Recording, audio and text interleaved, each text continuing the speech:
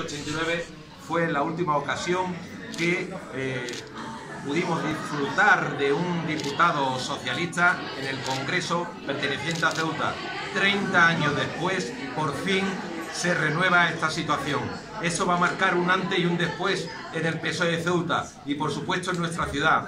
Un diputado que estoy seguro, como es Pepe Simón, una gran persona, una buena persona y está dispuesto a trabajar por los intereses, por defender los intereses de todos y de todas, de todos los ceutíes. Por tanto, yo creo que la población de Ceuta ha tenido claramente una muestra para decirnos a, todos eh, con esta eh, evidente eh, participación que ha habido con unos resultados tan buenos para el PSOE de Ceuta nos está diciendo de que querían un cambio, que quieren un cambio para nuestra ciudad, porque quieren una transformación y sobre todo nosotros vamos a seguir luchando porque exista un modelo de convivencia como el que ha habido durante todos estos eh, años en nuestra ciudad. Un modelo de convivencia donde todos nos hemos llevado estupendamente, donde no ha habido ningún problema y desde luego esto había que poner freno con un muro de contención a todo lo que nosotros estábamos escuchando y a todos los peligros que se activaban ante eh, nuestro panorama.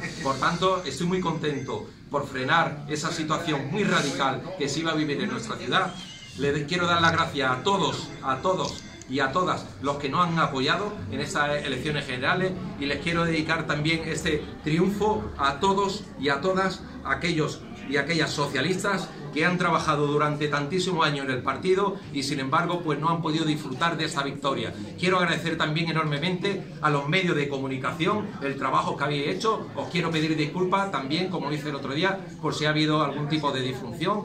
Eh, os pido disculpas sinceramente a todos y deciros de que estamos muy orgullosos de Pepe Simón y vamos a esperar a los resultados de nuestros dos candidatos al Senado para ver eh, si podemos disfrutar plenamente de, la victoria. Eh, por tanto, daros las gracias y ¡Viva el PSOE!